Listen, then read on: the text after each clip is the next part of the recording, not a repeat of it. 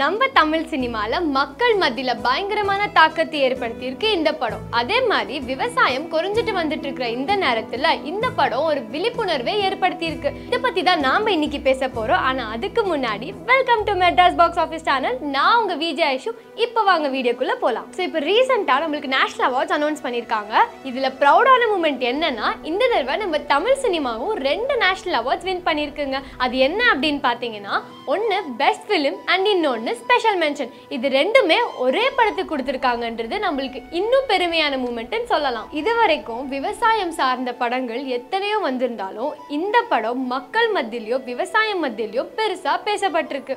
அந்த படம் தான் நம்ம கடைசி விவசாயி தி லாஸ்ட் ஃபார்மர் ஸோ இந்த படம் ஒரு வயசான ஏழை விவசாயி பற்றி தாங்க. ஸோ அவங்க லைஃப்பில் நடக்கிற எல்லா கஷ்டங்களும் துன்பங்களும் பற்றி தான் நம்மளுக்கு ஒரு லவ்வபிளான ஸ்க்ரீன் பிளேயோட ப்ரெசென்ட் பண்ணியிருப்பாங்க இந்த படத்தோட டைரக்டர் கேமராமேன் அண்ட் ப்ரொடியூசர் எல்லாமே நம்ம மணிகண்டன் சார் தான். அது மட்டும் இல்லாமல் காக்கா முட்டை அப்படிங்கிற படத்தை டைரக்ட் பண்ணதும் மணிகண்டன் சார் தான். கேமராமேனாக இருந்து மூவிக்கு ஒரு பெரிய சக்ஸஸ் கொடுத்ததும் நம்ம மணிகண்டன் சார் தாங்க. இந்த படத்தோட அடுத்த ஸ்ட்ரென்த்தே அந்த படத்தில் இருக்கிற கேரக்டர்ஸ் தான் சொல்லலாம். ஸோ கேரக்டர்ஸ் எவ்வளோ இம்பார்ட்டண்ட்டோ அதே மாதிரி அழகாக இந்த படத்துலையும் நாலு கேரக்டர் நம்ம நலாண்டி தாத்தா Vijay Sethupathi sir Yogi Babu sir and Muneeshwaran அழகாக அந்த ரோலுக்கு ஏற்ற மாதிரியே ப்ரெசென்ட் பண்ணியிருப்பாங்க இந்த படத்தில் வர கேரக்டர்ஸ்லாம் நடிக்கணும்னு நடிக்காமல் அவ்வளோ ரியலிஸ்டிக்காக நம்மள நாமளே மெய்மறந்து போகிற மாதிரி நடிக்க வச்சிருப்பாரு.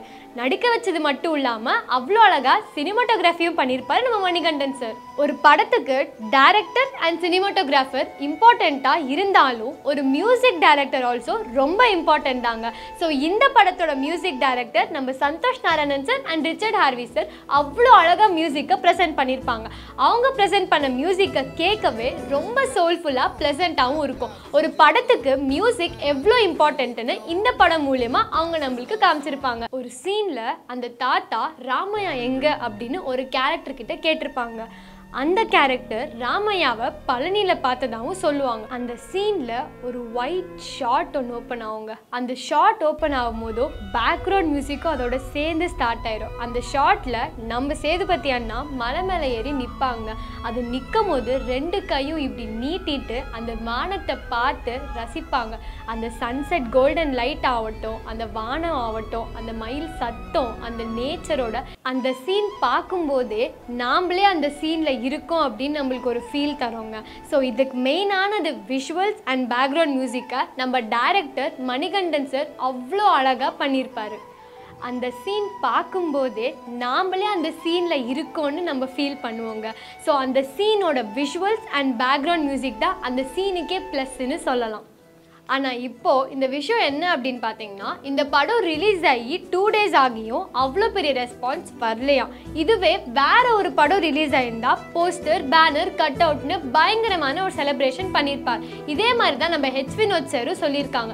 இந்த கடைசி விவசாயி மூவிக்கு அவ்வளோ பெரிய செலிப்ரேஷன் பண்ணலை. ஆனால் அதுவே வாரிசு படத்துக்கும் துணிவு படத்துக்கும் செம்ம பெரிய செலிப்ரேஷன் பண்ணியிருக்காங்க ஆனால் இந்த மாதிரி ஒரு செலப்ரேஷனை கடைசி விவசாய படத்துக்கும் பண்ணியிருந்தா எங்களை மாதிரி டைரக்டர்ஸ் காம்ப்ரமைஸ் பண்ண தேவையில்லைன்னு போல்டான ஒரு ஸ்டேட்மெண்ட்டை ஒரு ஸ்டேஜில் சொல்லியிருப்பாரு.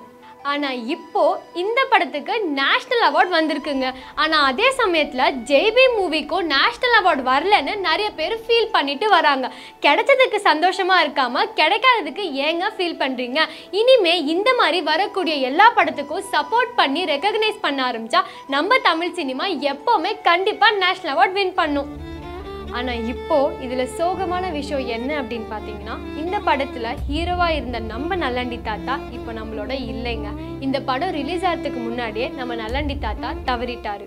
அண்ட் இந்த வீடியோ உங்களுக்கு பிடிச்சிருந்தா லைக் பண்ணுங்கள் ஷேர் பண்ணுங்கள் மறக்காமல் மெட்ராஸ் பாக்ஸ் ஆஃபீஸ் சேனலுக்கு சப்ஸ்கிரைப் பண்ணிடுங்க.